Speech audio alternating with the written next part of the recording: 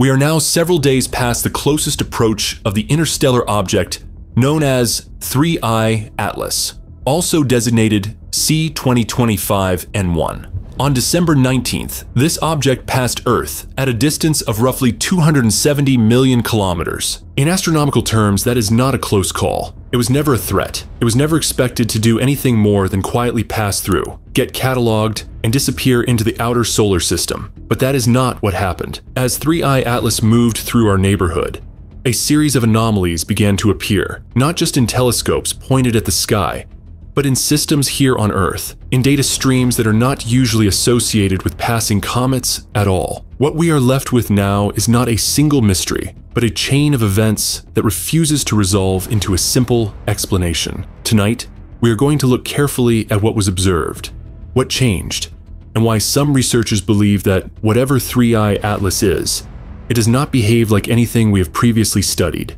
Let's begin with the most unexpected data point. Shortly after the object's closest approach, independent monitoring stations began recording an unusual spike in Earth's electromagnetic background. Specifically, in the Schumann resonance, the natural standing wave formed between Earth's surface and the ionosphere. Normally, this system is remarkably stable. Its fundamental frequency sits at approximately 7.83 Hz, with predictable harmonics above it. This pattern has been measured for decades and rarely deviates in a significant way. But during the window surrounding the flyby, observers reported a sustained, high amplitude signal centered around 25 Hz. This was not a brief fluctuation. It was not noise. It was not easily explained by lightning activity, solar wind disturbances, or known atmospheric effects. The signal appeared suddenly, remained coherent, and then faded. Timing matters here. The emergence of this 25 Hz signal aligned precisely with the period when 3I Atlas was nearest to Earth. That alone does not prove a connection. Correlation is not causation. But in physics,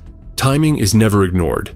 It is logged, it is examined, it becomes part of the puzzle. So what could cause a resonant shift of this kind? A conventional comet should not. At that distance, a passive object made of ice and dust has no known mechanism to interact with Earth's electromagnetic cavity in a measurable way. There's no gravitational explanation, no optical explanation, and no accepted electromagnetic coupling model that fits the observations cleanly. This leads us to the next anomaly. While Earth's background field showed unexpected behavior, 3i Atlas itself was changing. Early observations had established a stable rotation period for the object. Its brightness variations indicated a rotational cycle of approximately 16.16 hours. This was consistent across multiple observation runs. Then, during the closest approach, window, that period shifted. Updated light curve analysis suggests the rotation accelerated to roughly 15.48 hours. That may not sound dramatic, but in physical terms, it is enormous. Spinning up an object of this size requires a substantial transfer of angular momentum.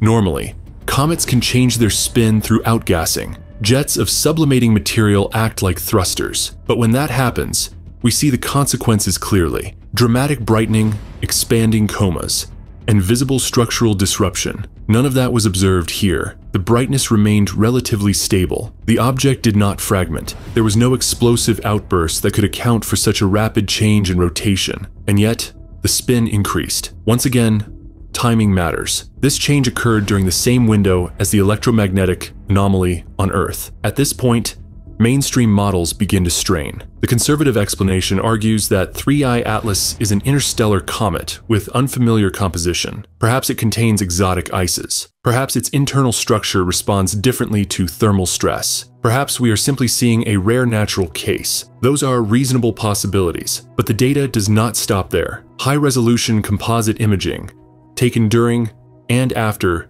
the spin-up event, revealed a structure that does not resemble a typical comet nucleus. Instead of a bright central core surrounded by a diffuse coma, the images show a dark central region, sharply defined, encircled by a luminous ring. This is not how comets usually appear. In standard cases, the nucleus reflects sunlight. It is the brightest point. Here, the center appears to absorb light. The brightness comes from a surrounding ring, not from the core itself. Some researchers argue this is an optical illusion, a shadowing effect, a dust geometry artifact. Those explanations are being actively tested, but what makes this feature difficult to dismiss is its symmetry. Shadows shift with rotation. Dust jets are chaotic. This structure remains centered and coherent across multiple observations. The ring also brightened. During the same period, the rotation rate increased. That connection matters. If the object were shedding mass unevenly, we would expect instability. Instead, the system appears controlled,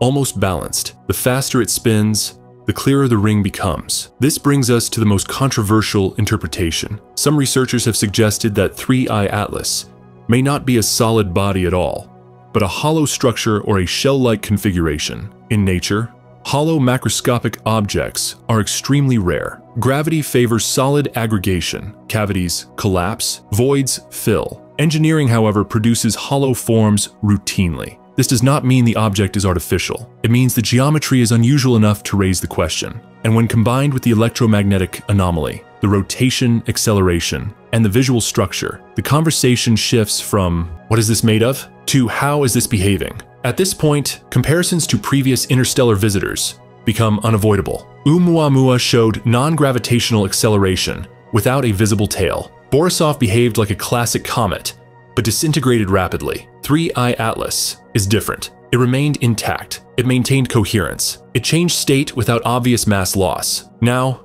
we must look forward. Trajectory analysis shows that 3I Atlas is not simply drifting away. In March 2026, it will pass near Jupiter's orbital region, close enough to experience significant gravitational and magnetic influence. This is statistically unusual. An interstellar object passing near Earth and then near Jupiter on a single traversal is unlikely, though not impossible. Jupiter's magnetic field is the largest and most energetic in the solar system. If any environment could interact strongly with a charged or structured object, it would be there. Importantly, 3I Atlas does not need Jupiter for a gravity assist. Its hyperbolic excess velocity is already sufficient to escape the Sun. That raises a question. Why pass so close? The conservative answer is chance. The speculative answer is intent. Science cannot accept intent without evidence.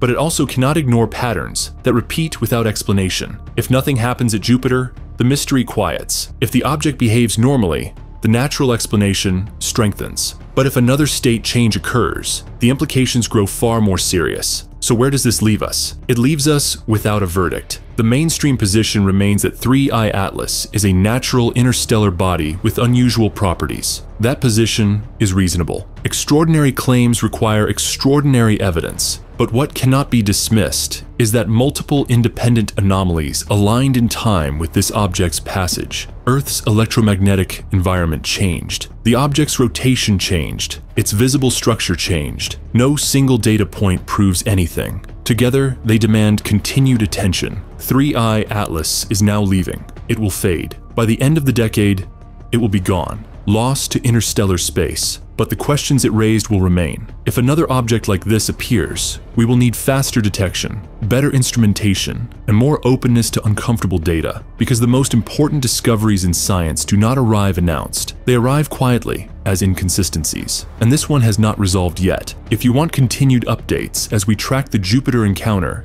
and analyze new data as it arrives, make sure you are subscribed. The universe is not obligated to behave the way we expect, and sometimes the most unsettling discoveries are the ones that do nothing at all, except force us to rethink what we thought we understood.